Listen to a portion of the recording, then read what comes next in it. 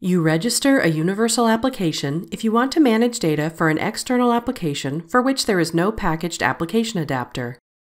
You can think of the Universal Application Adapter as a flexible open interface because it doesn't enforce conformity to the requirements of an external application. The registration process creates an application and a default view. For each registered dimension, the registration process creates a viewpoint, the data chain objects used to define the viewpoint, and business validation rules. The data chain objects not only manage the data for you, but also apply rules to the data. Let's register a universal application.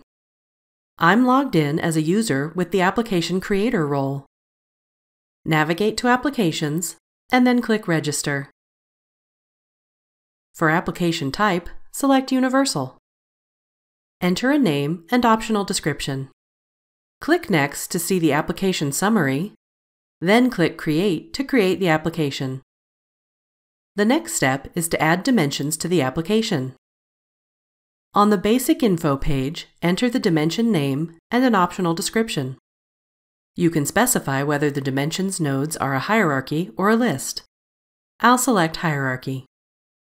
Optionally, you can use the external dimension name text box to enter the name that the external application uses for the dimension if it's different than what you want to use in Enterprise Data Management Cloud. You can also decide whether to allow shared nodes in the dimension.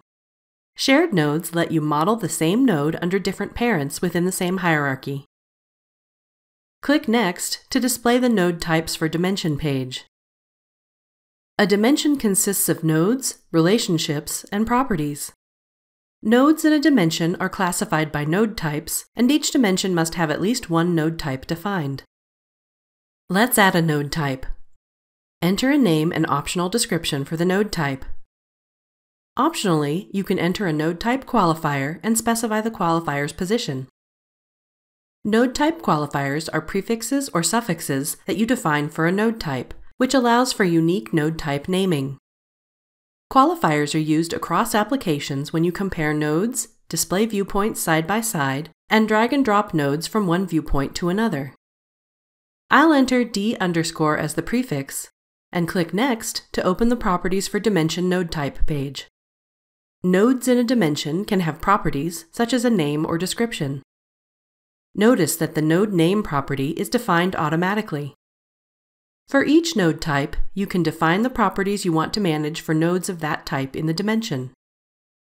You can create properties for the node type or select existing properties. Existing properties include core properties and statistics, custom properties, and application-specific properties.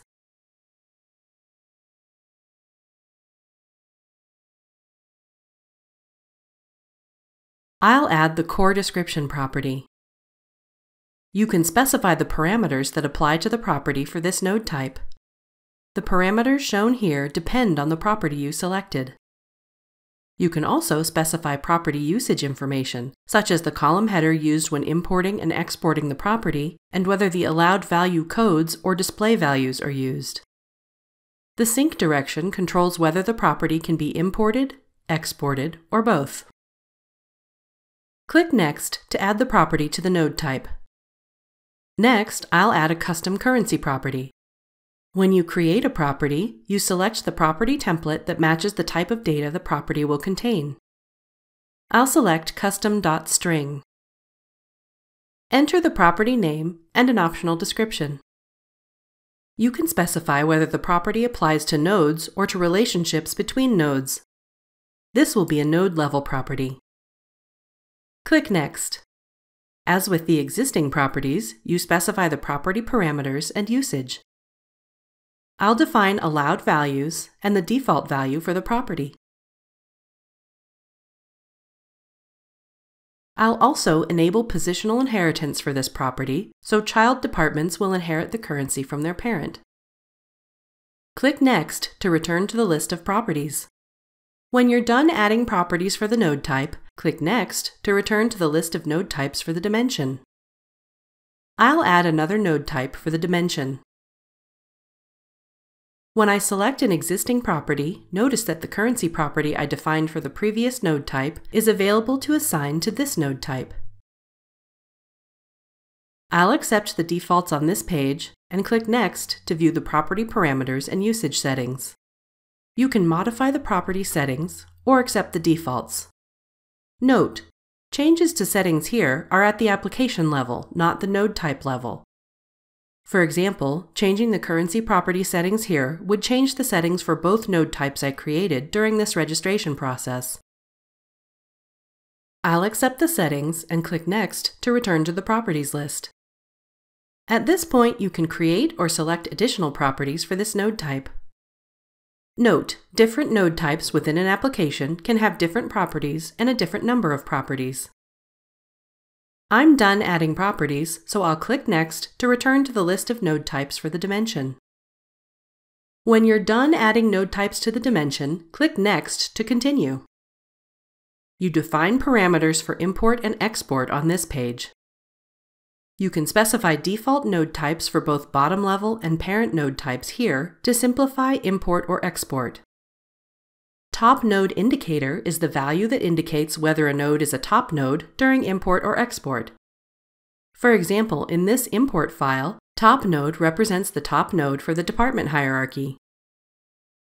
For explicit control within an import or export data file, you can designate node type columns within the file by checking these boxes and specifying column headers for each node type. Including this information is especially helpful for dimensions that use multiple node types. When you're done defining the dimension, click Next to return to the list of dimensions for the application. You can repeat the steps to add more dimensions. When you're done adding dimensions, click Next again to view the application summary. Review your application, then click Apply to save the registration. A confirmation is displayed that the data chain object creation completed successfully. The new application is now available on the Applications page. You can now perform imports and exports, run extracts, modify the registration, and so on. The registration process also generated the default view for the application with a viewpoint for the dimension. If you inspect the viewpoint, you select the Definition tab to see the node types associated with the viewpoint. You can also see the properties for each node type. And the Properties tab includes a comprehensive list of properties for all node types. You can also view all the data chain objects generated by the registration process. To learn more, visit docs.oracle.com.